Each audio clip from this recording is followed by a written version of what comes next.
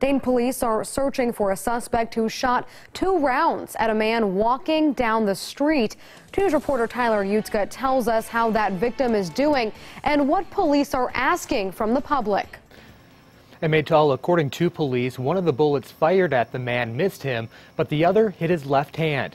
Now, Dayton police say the man is doing okay, and even though the injury to his hand isn't serious, authorities say the crime is. The victim told police he was walking on Fairview Avenue near Catalpa Drive Sunday afternoon around 2.30 when a man in a black car with tinted windows shot at him twice and yelled, I got you now.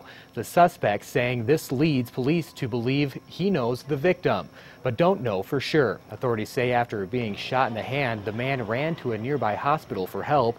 Police are asking those who may have seen the suspect's vehicle speed off or have any other information to come forward. If you see something, say something, and then do something, possibly somebody saw this incident happen, and we need the help of the public to stop this violence. Without the public's help and without the cooperation of the police and the public, we don't want this violence to continue. And if you have any information, you're asked to call Crime Stoppers at 222 STOP. Tyler Utzka, 2 News, working for you.